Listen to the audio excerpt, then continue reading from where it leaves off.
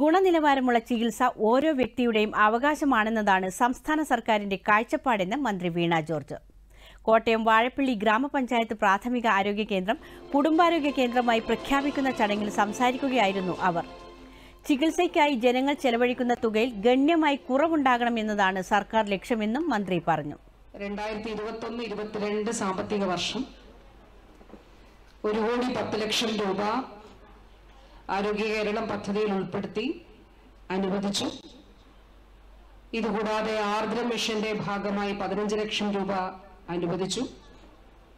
പഞ്ചായത്തിന്റെ വിഹിതമായി മുപ്പത്തിയഞ്ച് ലക്ഷം രൂപ അങ്ങനെ ഒരു കോടി അറുപത് ലക്ഷം രൂപ ചെലവഴിച്ചാണ് നാലായിരത്തി അഞ്ഞൂറ് ചതുരശ്ര അടിയിൽ വളരെ മനോഹരമായി നമ്മുടെ ഈ ഒ പി ബ്ലോക്ക് നിർമ്മിച്ചിരിക്കുന്നത്.